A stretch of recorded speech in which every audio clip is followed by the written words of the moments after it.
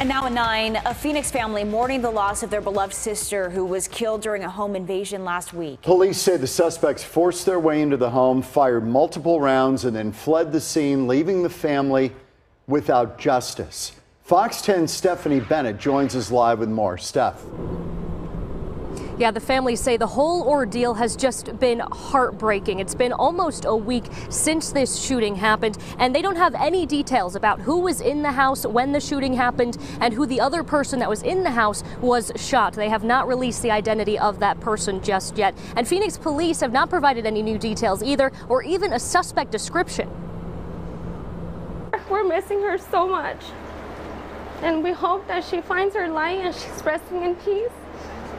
Her death was very tragic and she did not deserve it. Marlene Estrada preferred not to show her face as she is still mourning the loss of her little sister, Destiny Hernandez, who was brutally murdered at the young age of 19. They say it was a case of being in the wrong place at the wrong time. Very young, she had a whole life ahead of her. Estrada remembers the good times with Destiny, known as Tiny to her family. She says she was funny, adventurous, and loved to dance. She was uplifting others she cared for everyone. She put her everyone before herself.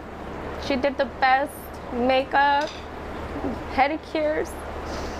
She did it all for my grandparents. It all happened last Wednesday night around 1120 near 83rd Avenue and Broadway. Detectives say multiple gunshots were fired after the suspects forced their way inside the house where Destiny's boyfriend lived. Destiny died on scene, and a man inside the home was also shot and taken to the hospital. Police have not released his identity. That's so frustrating, and that's really what's killing us right now. We can't seem to come to peace.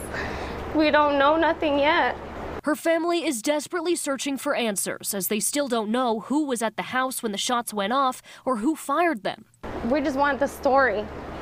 That's all we care about right now is to find out how our baby girl, you know, left us and if hopefully we can help to get justice, then that's the goal. The family has set up a GoFundMe to help pay for funeral expenses. We're going to have a link to that on our website. For now, Phoenix police are asking anyone with information to get in touch with them directly or contact Silent Witness at 480 Witness. Reporting live tonight, Stephanie Bennett, Fox 10 News. Steph, thanks.